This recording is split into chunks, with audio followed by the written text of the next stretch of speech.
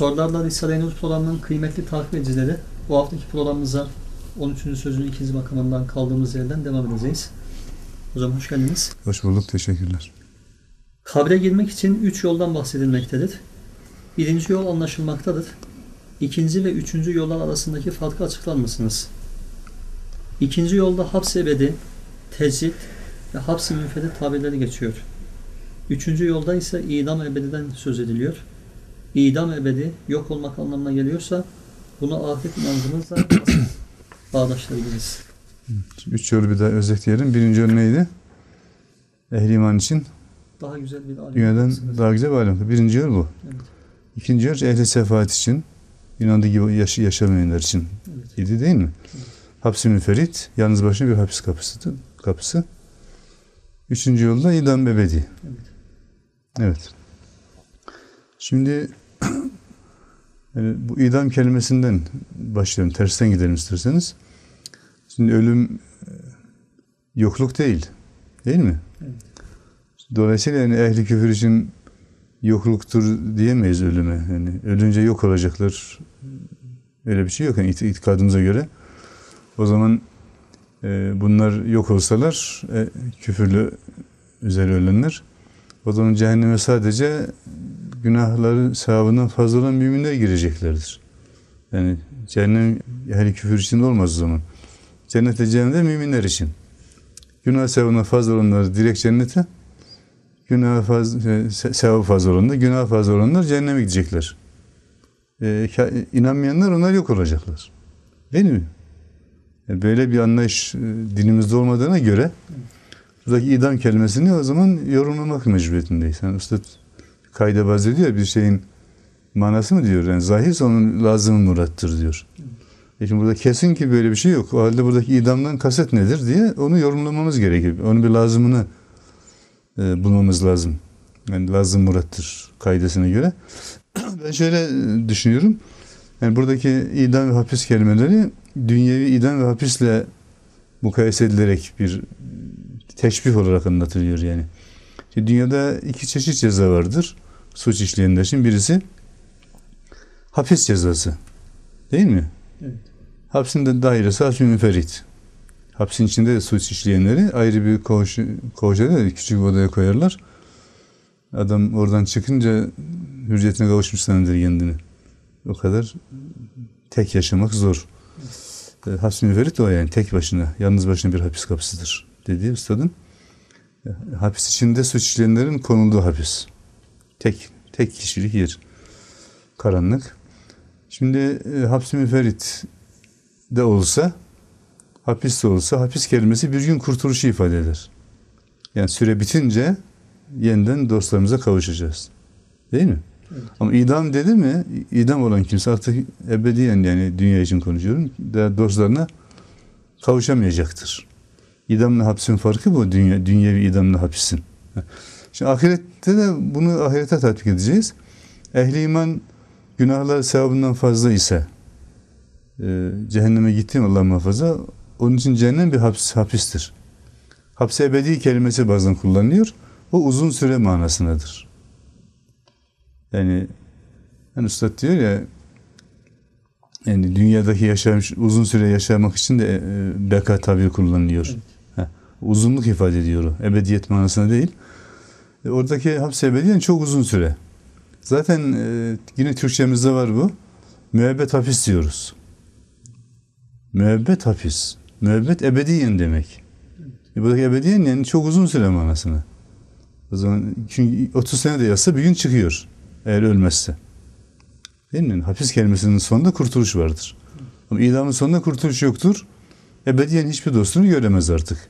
Şimdi cehenneme küfürle giren yahut Allah muhafaza işte nasıl yaşarsanız öyle ölürsünüz hadisine göre başta mümin iken ehli dallet gibi, ehli sefat gibi yaşayıp e, son nefeste şeytana mağlup olup imanını kaybeden kişiler, imansız geçen kişiler, onlar imansızlar gibi oluyor neticede.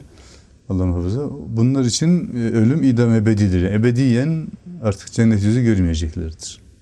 Hapis değildir yani. Buradaki e, idam kelimesi bunu ifade etmesi gerekiyor yani ediyor daha doğrusu. Çünkü aksi itikadımıza zıt düşer. Zaten soruda öyle geliyor.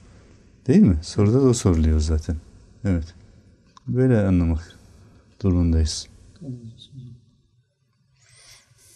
Ayrıyeten aynı yerde bu iki şıkkın bedihi olduğu, delil istemediği ve göz göründüğü ifade ediliyor. Bu bedihi olan iki şık hangisi? Ve ne anlama geliyor?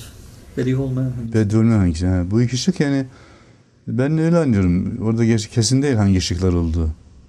Ama sırada 1, 2, 3 diye geldiğine göre bu iki şık deyince bence baştaki ikiyi anlamak lazım.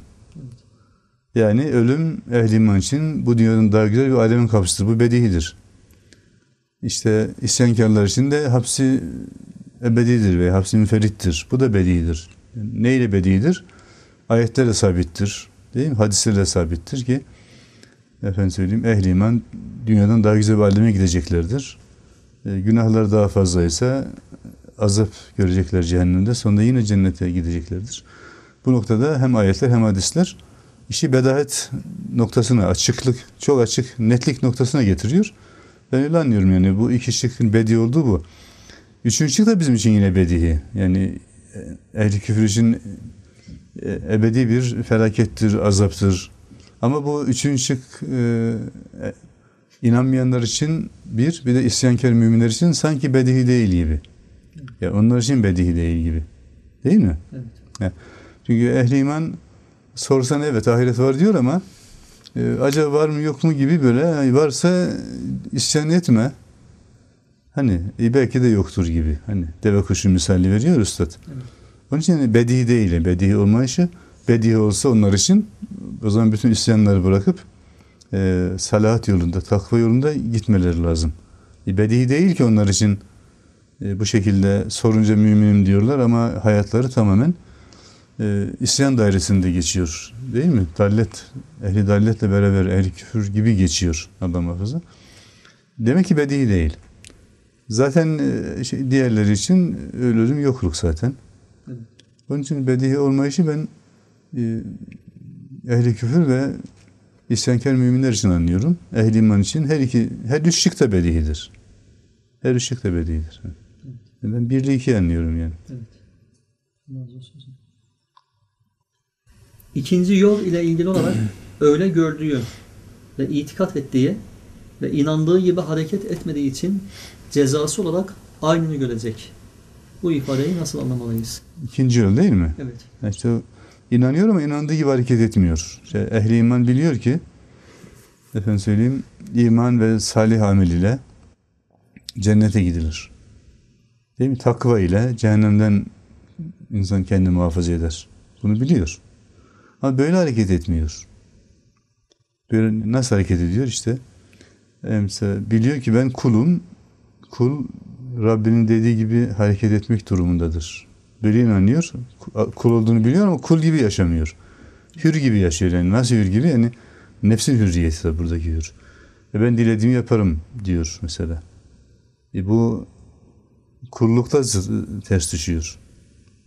E Salih ezan okuyun hayal etsela haydi namaza namaza gitmiyor. Namaza inanıyor ve namaza gitmiyor. İnandığı gibi hareket etmiyor. Günahlar e, azabı net çevirir. Buna inanıyor. Değil mi? Evet. Ama günah işliyor, haram işliyor. Yine inandığı gibi hareket etmiyor. Yani ehli, ehli ama sorduğumu müminim diyor. Şimdi inandığı gibi hareket etme, etmediği için diyor bu cezası olarak ne yapacak? İşte dediğim gibi yine inşallah son nefesinde imanla göçmüşse yani hapsi müferritte mahkum olacak yani cehennemde çok uzun süre kalacak ama imanlı geçtiği için neticede tekrar kurtulacak oradan. Ama cezası olarak bunu, bunu görecek. İnandığı gibi hareket etmemenin cezası cehennemdir yani. Evet. Yoksa yani şöyle inanıyor cehennem yoktur inanan cehenneme gitmeyecek böyle anlamamamız lazım. Evet. E, değil mi? Muhakkak. Tabii. İnandığı gibi hareket etmemek işte arz ettiğim gibi iman, ameli salih, takva inanıyor ama yaşayıcı öyle değil. E, bu, e, inandığı gibi hareket etmemenin, etmemenin cezası ne? Azap. Değil mi? Evet. Ha, onun için öyle gidecek diyoruz.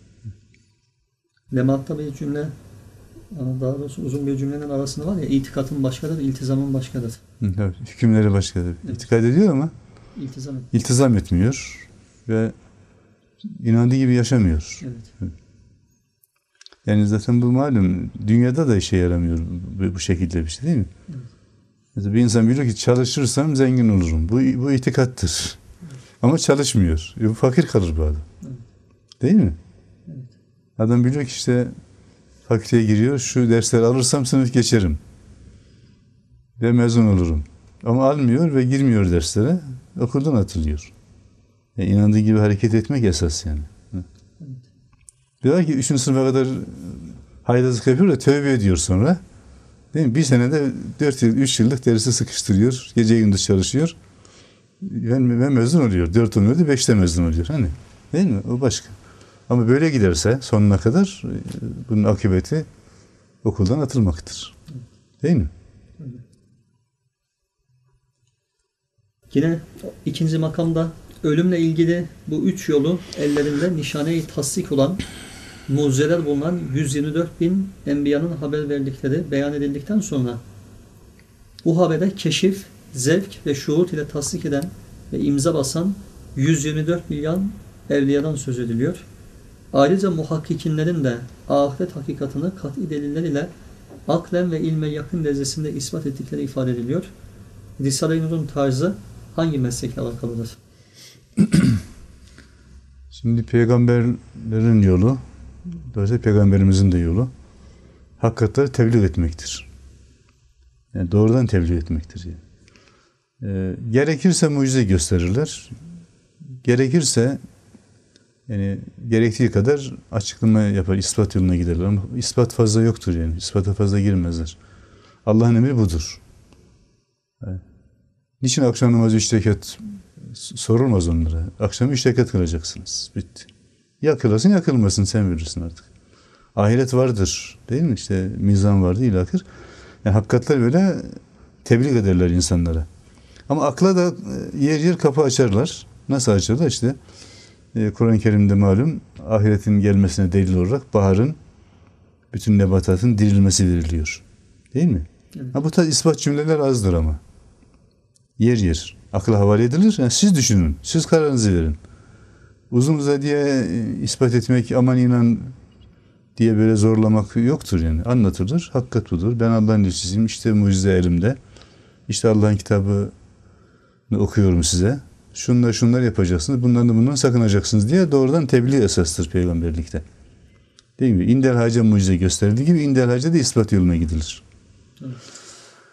E, velayette ise Cenab-ı Hakk'ın lütfuyla o e, salih zatlara bazı ikramlarda bulunur. Yani bazı harika halleri olur onların. İşte bazılarının kalbine geçenleri bilirler ve gibi. E, onların bu harika halleri insanlara itimat verir. İtimat verir. Tamam ben bu zatın peşine gitmem lazım. Buna bağlanmam lazım. Ne dese yapmam lazım diye. Yani o harika hallerle bağlanırlar o zata. Ve elhamdülillah ameli salih dairesine girerler. İnşallah imanlarını kurtarırlar yani. O da bin yıl kadar hüküm sürmüş. Halen de devam ediyor. Başka da bin yıl e, hük- hüküm sanki şey velayette. E, binlerce, milyonlarca insan imanın kurtuluşuna vesile olmuş bir yoldur. E, bir de muhakkikler var. Onlar da iman hakikatlerine yine ehl, onlar da ehli velayettirler. Yani onlar asfiye deniyor onlara. Onlar da evliyadır aynı zamanda. Fakat e, hakikatler bir de e, aklen ispat ederler bunlar. Hem aklı hem naklen ikisini beraber hem kalbi hem aklı ikna etmek üzere e, bir yol tutarlar. E, şimdi bu asra bakacak olursak bu asırda sanki hani zaman tarikat zamanı değil hüküm var üstadın. Bu biraz yanlış anlaşılıyor. Yani bugünkü bir az kısaca durmak istiyorum üzerinde. Ya bugünkü şüpheler içinde bocalayan, sefate girmiş, sefaten hoşlanan değil mi? Ahlaksız bir ortamdaki bir kimseyi efendim söyleyeyim biz zaten seni huzuruna götüreyim seni şu şu tesbihleri çek e, kurtulursun bütün bu halden diyemezsin zaten gelmez oraya. Değil mi? Evet. Zaten gelmez ki. Gelse de ona kadere dair şüpheleri var adamın. şu tesbihleri çek kurtulsun diyemezsiniz. Onu ispat etmeniz lazım, izah etmeniz lazım. Yani bu asırda sanki e, aklın da iknası gerekiyor. Akıl kalp beraber gitmesi lazım. Ama bu demek değil ki herkes e, bu yolda gidecek. Yine tarikatlar kıyamete kadar devam edecek. Ama bu asrın e, irşat tarzı budur yani. yani zaman tarikat zaman değildir cümlesi uzun bir mana da sadece şunu söyleyeceğim. Yani bu zamanda dallete, sefate girmiş kimselere tesbih vermekle, tesbih çektirmekle şüphelerini gideremezsiniz demektir. Yoksa bu zamanda tarikat yoktur. Tarikatın işi bitmiştir demek değil yani. Tarikat vardır, tarikatçılar vardır ve çok insanın salih, ameli salih dairesinde yaşamalarına hizmet ediyorlar ve edeceklerdir kıymete kadar.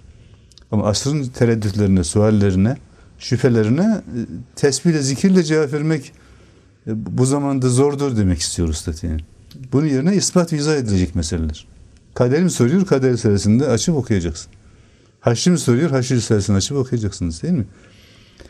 Onun için Risale-i tarzı bu muhakkiklerin yoludur. Muhakkiklerin yoludur. Yani aklen ve naklen mesele izah ispat etmek. Tarz olarak Tusat mesleğimiz sahabe mesleğidir diyor. Yani sahabe mesleği demek işte e, tarikat beyazlarına girmeksizin doğrudan doğruya hakikate bir yol aç, açtım diyor Üstad. Evet. Yani o, o manada sahabe mesleğidir. E, diğer yönden de ta, ta, muhakkiklerin yoludur. Aklen ispat ettiği için, izah ettiği için. Ama Risale tarikat değildir. Ama tarikatlara çok güzel bakmıştır Risale-i Nur. Tise yazmıştır Usta. Tarikatçıların e, müdafasını yapmıştır. Tarikata hücum edildiği o dönemlerde. Değil mi? Evet. Ama bu asırın şartları budur demek, tarikata karşı olmak demek değildir yani. Bu vesile bunu da söylemek istiyorum. Yine Kasan'ın arkasında var ya, yani Risale-i Nur'un yolu sadece böyle yani muhakkik gibi aklın ayağına gitmek, evliya üstüyle keşif keramet kalp yoluyla gitmek değil. İkisi beraber. Akıl ve kalbin imtizazıyla. Güzel. İkisi o, beraber. Ve sair ile taifin teavün ayağıyla diyor. Tamam. Evet. İkisi beraber. Evet. Hem akıl hem kalp. Yine ikinci makamdan idam ve zindan ebediden kurtulmak ve o yolu saadet ebediyeye çevirmek yalnız iman ve itaat iledir ifadesi tırnak içerisine alınmıştır. Bu bir ayet veya hadis mali midir? Öyle bir ayet hadis şey bilmiyorum, meali bilmiyorum. Yalnız e, ayet ve hadislerin verdiği ders budur yani. Ders budur. Evet. Değil mi? Yani Kur'an-ı Kerim'de sürekli imandan sonra amel salih zikredilir. Yani kurtuluş yolu az önceki sorunuzda da geçmiş oldu. Yani kurtuluşun yolu önce iman sonra taat, itaat değil mi? Evet. Sultan İntisap diyor. Sonra emrine girmek değil mi? Emrine girip dediklerini yapmak. Bir sultan intisap ediyorsunuz ama o ülkenin kanunlarına uymuyorsunuz. O zaman Allah muhafaza o ülkenin hapishanesine girersiniz. Sultan intisap şarttır ama e, birinci şarttır. Hemen peşine itaatin gelmesi lazım. Ki o ülkede e, hür bir şekilde yaşarsınız, hapse girmeyesiniz. Değil mi? Evet. Bunun gibi iman birinci şarttır fakat peşine amel salih gelir ve takva gelir. Yani zaten e, terakkinin iki kanadı vardır. Biri evamiri imtisal, diğer nevahiden içtinap. Değil mi? Evet. Emirleri işledikçe insan cennete doğru yol alır. Nehirlerden sakındıkça da cehennemden uzaklaşır. Dolayısıyla kurtuluş cennete koşmak ve cehennemden kaçmaktadır yani. Değil mi? Emirler uyulacak, yasaklardan kaçınılacak. İkisi beraber olacak. Dolayısıyla bu mana ayetlerde vardır ama aynı bu ibareyi bilmiyorum. Evet. Ee, öyle. Hepimizin bildiği Vel Asr suresinde zaten geçer bu. Değil mi? Bütün insanlar hüsrandadırlar diyor Cenab-ı Hak. Kimler müstesna? Amenü ve amel iman edenler ve salih amel işleyenler müstesna. Bir de hakkı birbirine tavsiye edenler, bir birbirlerine sabrı tavsiye edenler müstesna. Bunların dışında herkes hüsrandadır. Bu ve benzeri birçok ayetler iman ve salih ameli beraber zikrederler. Bu da aynı manadır bu cümle. Yine bir kısım ayetlerde var ya ve beşşirin lezine amenu ve amnus salihat cennetin tezimin. Tahtel enhar. İnnellezine amenu ve amilus salihati kânet lahum cennetun firdevsi nuzule gibi ayetlerde. Yani genelde iman ve amel salih ile ilgili ayetlerin peşlerinde cennet müjdesi geliyor yani. Geliyor geliyor. Evet. Netice o çünkü. Evet. Cennetin yolu o. Evet. Cennetin yolu. Yine 13. sözün ikinci makamından bir metin yüzde yüz ihtimalle dalalet ve sefahat göz önündeki kabir dar ağacına ve ebedi hapsi münferidine kat'i sebep olduğunu ve iman, ubudiyet yüzde yüz ihtimalle o dar ağacını kaldırıp o hapsi münferidi kapatıp şu göz önündeki kabri bir hazine-i ebediyeye, bir saray-ı saadete açılan bir kapıya çeviriyor ifadelerinde yüzde yüz olarak kesin ifade kullanılmaktadır. Fakat başka yerlerde yüzde bir kurtulma ve helake gitme nispeti bırakılmıştır. Bu iki farklı ifadeyi nasıl anlamalıyız? Hı, güzel bir soru. Şimdi yüzde yüz diyor Üstad burada. Başka yüzde yüz- 99 diyor değil mi? Evet. Şimdi yüzde 99'dan başlayalım. Yüzde 99 iman ve salih amel yolu cennete götürür. Ya bu yüzde biri ne bunun? Cenab-ı Hak'tan korkmak lazım. Olur ki yoldan çıkabilirim. Son anımda, son nefesimde yahut son dönemimde. E ben namaz kılıyorum ya işte salih işliyorum ya salih amel. Mutlaka cennete giderim. Mutlaka yoktur yani itikadımızda. Yüzde bir ne, ne vardır yine?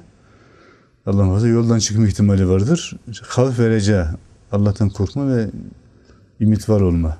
Arasında yürümek esas. Sırat-ı müstakim budur. Sırat-ı müstakim. Yani havf malum Allah'ın e, gazabından korkmak, emin olmamak. Yani, olur ki şu kadar güzel ameller işledim ama insan bir kötü amel işler. Bakarsınız o amel yüzünden e, şey yapabilir yani. Sonu kötü olabilir. Hem bunun tersi, tersini derslerin hadisler oradan buraya bakabiliriz yani. Mesela bir bir kadın işte bir kediye kuyudan su çekmiş şeyle e, ayakkabısıyla diyelim lastiğiyle su vermiş. Oradan hidayet Cenab-ı Hak kendisine nasip etmiş. Bakın ufak bir amel Cenab-ı Hak rıza, rızasını celbediyor. Oradan kendisi hidayet nasip olabiliyor. Öyle mi? Öyle mi? Evet. E şimdi bunun tersi, ter, nefsimize bunun tersini de söylememiz lazım. Olur ki bize göre ufak zannettiğimiz bir isyanımız gazab ilahi celbedebilir ve sonumuz kötü olabilir diye korkup yani ufak da olsa günahlardan sürekli sakınmamız lazım. Onun için yüzde yüz yoktur yani. O ki namaz kılıyor, iman etmişim, yüzde yüz cennete gideceğim. Bu yoktur yani. Kaldı diğeri, e, isyan dairesinde yaşıyor adam. İşte namazını kılmıyor vesaire. E, ben yüzde yüz cehenneme gideceğim. Daha benim kurtuluşum mümkün değil demeyecek. Çünkü ayette var malum. Üstad işliyor bu dersi de. Yeis bahsinde. Cenab-ı Hak e, bütün günahları affede, affedeceğini söylüyor yani. Şimdi Cenab-ı Hak rahmeti sonsuz, bizim günahlarımız sınırlı deyip rahmetin ümit kesmemek ve temel ama tövbe edip yani kesmeyip de devam etmek değil o zaman o yanlış. Tövbe edip e, doğru yola girmek. Ben şu kadar günah işledikten sonra daha mümkün değil tövbe etsem e, istikamet yoluna giremem dememek lazım. Çünkü tövbe Allah'ın izniyle siliyor bütün mazideki günahları. Kul hakkı hariç. O da helallaşacaksınız karşıdakiyle. Dolayısıyla yüzde bir ihtimal bu yani. Ne kadar isyankar olsa diyecek ki ben illa cehenneme gideceğim e, diye düşünmemem lazım. Tövbe edersem Cenab-ı Hakk'ın rahmeti sonsuzdur. E, Ben tekrar doğru yola girebilirim. Yüzde bir bunun için konulmuş. Değil mi? Evet. Kaldı yüzde yüz. İman ve ubudiyet yolu yüzde yüz ihtimalle cennete götürüyor. Evet. Küfür isyan yolu da yüzde yüz ihtimalle cehenneme götürüyor. Ha, bu yol olarak yüzde yüzdür yani. Yolun kendisi. Yolda gidenler değil. Yolun, yolun kendisi için söylemiştir bu yüzde yüz ifade. Yani e, iman ve salat yolu var ya, bu yol yüzde yüz cennete götürür. Acaba bu yol başka yere çıkar mı? Çıkmaz. Değil mi? Ha, bu yol başka yere çıkmaz. Yüzde yüz cennete çıkarır yol. Ama yolda giden yüzde yüz cennete gider mi? O kesin değil. Olur ki son anda yoldan çıkabilir.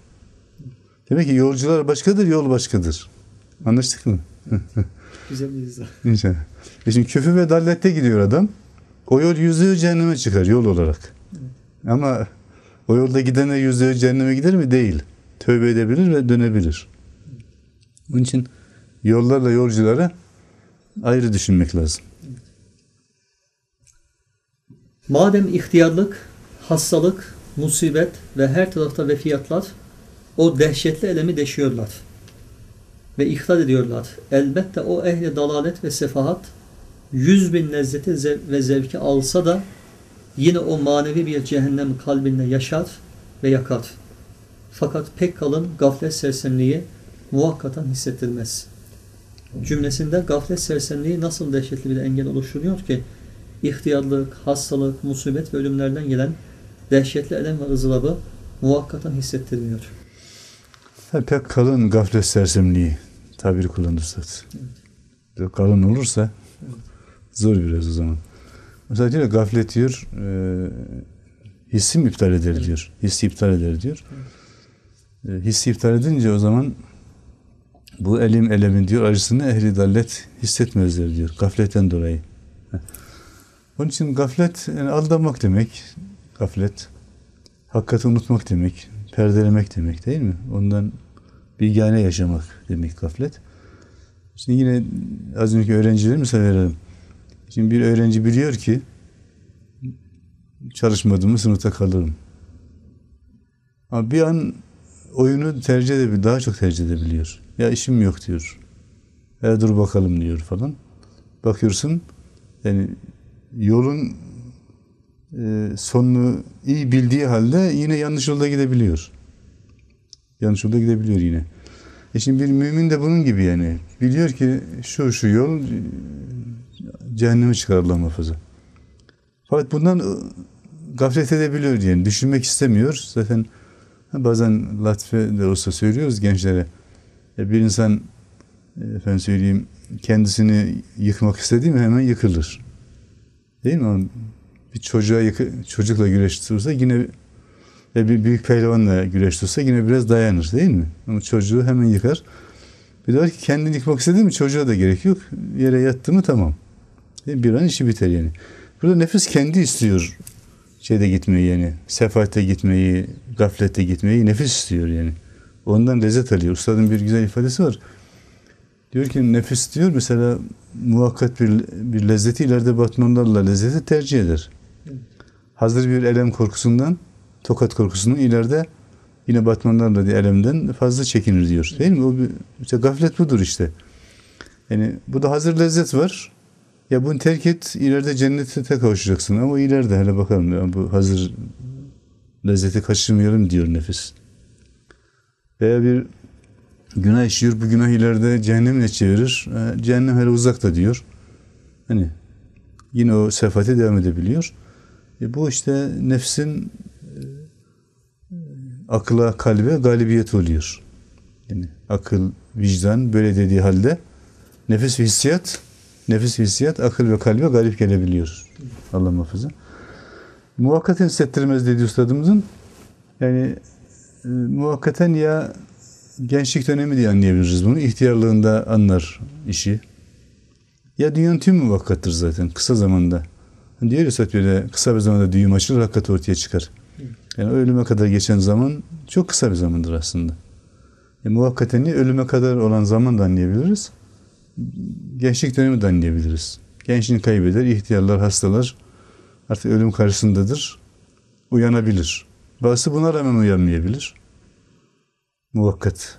O zaman o da Allah muhafaza ölünce uyanır. Evet. Ama iş işten geçmiş olur tabii.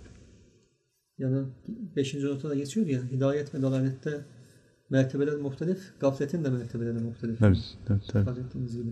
Evet. Hocam süremizin sonuna geldik. Siz sağlık. Sorularla Risale-i Nur programının kıymetli takip edicileri. Bu haftaki programımızın sonuna geldik. Gelecek hafta yine 13. sözde görüşmek üzere. Hayırlı günler diliyorum.